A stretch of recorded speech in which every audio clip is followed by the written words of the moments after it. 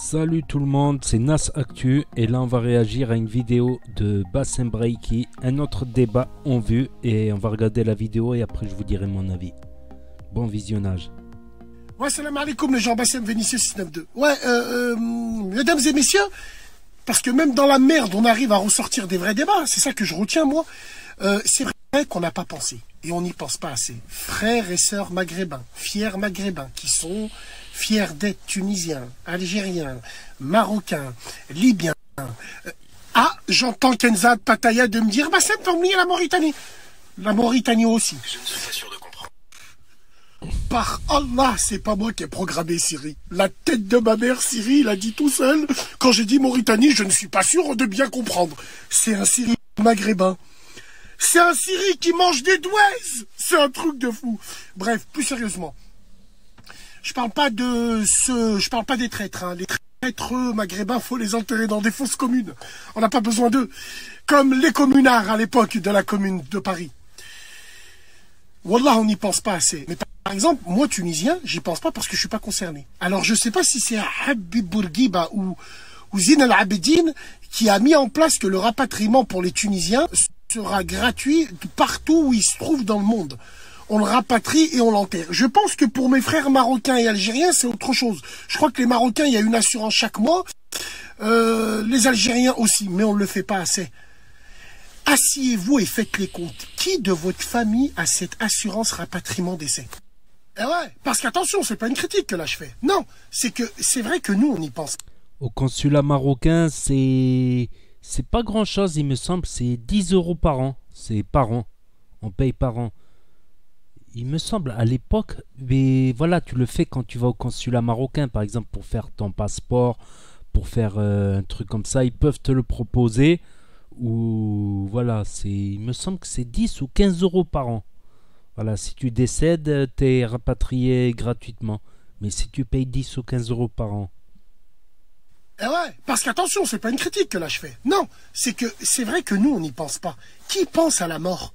Qui pense à préparer ses, obsèques, entre guillemets, même si nous, hein, il n'y a pas d'obsèques, hein, allez, dans un drap blanc, côté droit, et on l'enterre, ni cercueil, ni rien. Bon, on revient à la terre.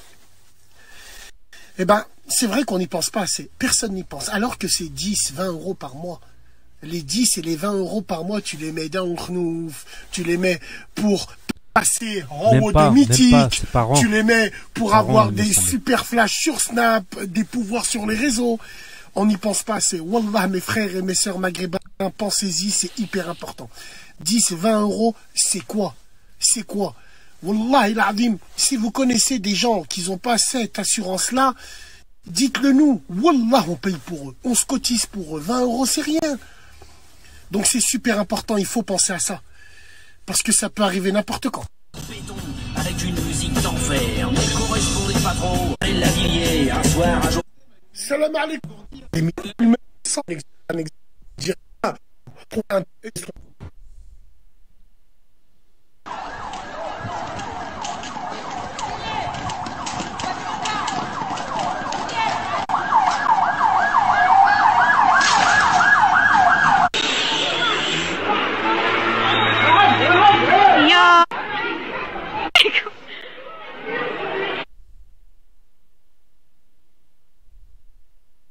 بداو هبطوا هذاك بداو هبطوا على صفحه وزاره الداخليه هذاك بداو يا من الولايه اعطيني باش تعاني انا ودعم ليه ما شد دخل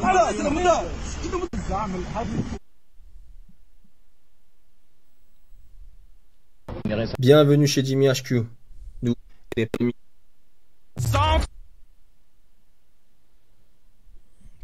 Donc voilà, pas grand chose à réagir là-dessus. Je l'avais dit, mais il me semble que c'est même pas 10 euros par an au Maroc. Il me semble qu'il y a une assurance comme ça, tu 10 euros par an, un truc comme ça. Parce que bon, euh, la plupart des gens, ils meurent de mort naturelle. Donc s'ils payent 10 euros par an, on dit en 50 ans, voilà, ça fait, ça fait une somme quand même. Donc euh, n'hésitez pas à me dire ce que vous en pensez, à me corriger si je me suis trompé, à me dire c'est combien déjà le prix parce que moi, ça fait très longtemps que je suis pas allé au consulat marocain. Faudrait que je refasse mes papiers marocains.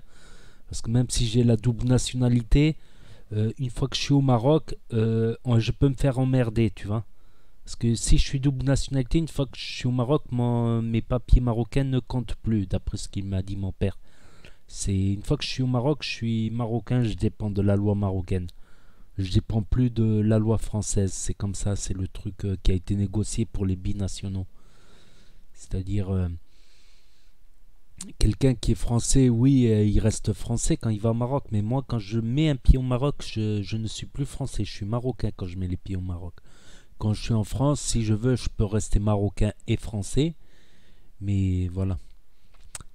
Donc euh, n'hésitez pas à me dire ce que vous en pensez, à mettre un pouce bleu, à vous abonner et à cliquer sur la cloche. Et je vous dis à très bientôt pour de nouvelles vidéos. Tchuss, merci d'avoir regardé.